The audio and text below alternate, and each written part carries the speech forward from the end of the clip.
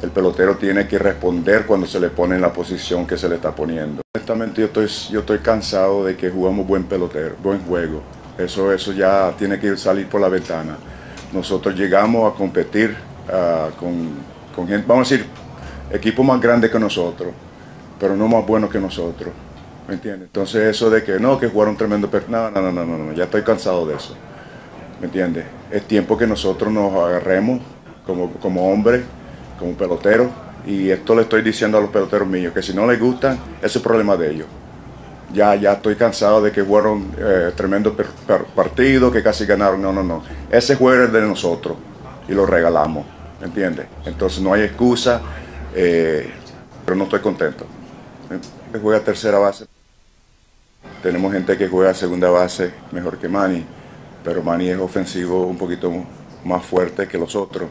Entonces, cuando digo que movemos las fichas para ver dónde, dónde las podemos poner lo mejor que podamos, eh, eso es lo que hicimos.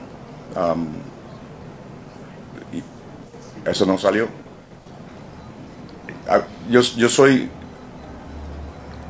de pelotero, ¿me entiendes? Yo soy de esos que yo acepto mis responsabilidades. De manera yo acepto mis responsabilidades. El pelotero tiene que responder cuando se le pone en la posición que se le está poniendo.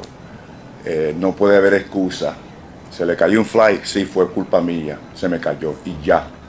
¿Entiendes? vimos el juego y todo el mundo tiene un trabajo que hacer. Nosotros no traímos turistas, traímos peloteros a hacer su trabajo. ¿Entiendes? Eh, si él saca el inning, no me hace esa pregunta. ¿Entiendes? Entonces me la, me la está preguntando porque fallamos.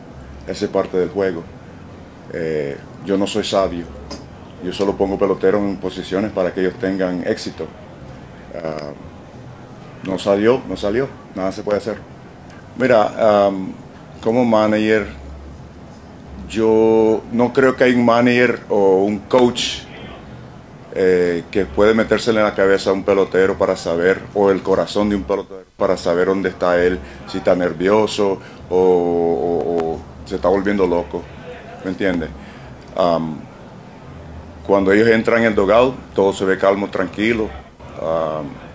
entonces uno va con lo que va.